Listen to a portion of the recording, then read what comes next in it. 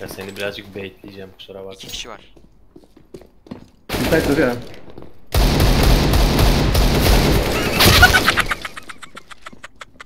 Ne oldu?